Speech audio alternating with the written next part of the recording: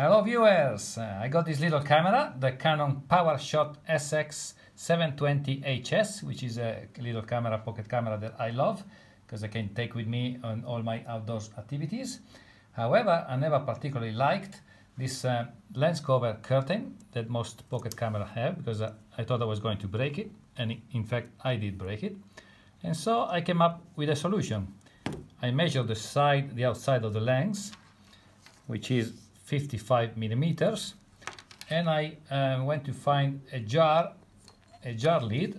I found this one, which is pretty much the same size, and I uh, micro adjusted with this uh, tin can opener to make it snug fit.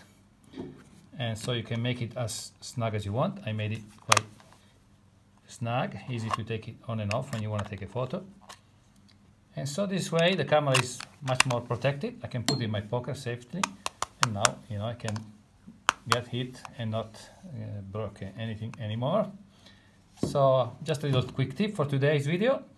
Uh, hope you you like it. I hope you find it useful because this may be happen to you as well. You wake up to like uh, press the like button below to subscribe to the channel for more videos to come. And leave a comment below if you have um, any thoughts or question about it. See you next time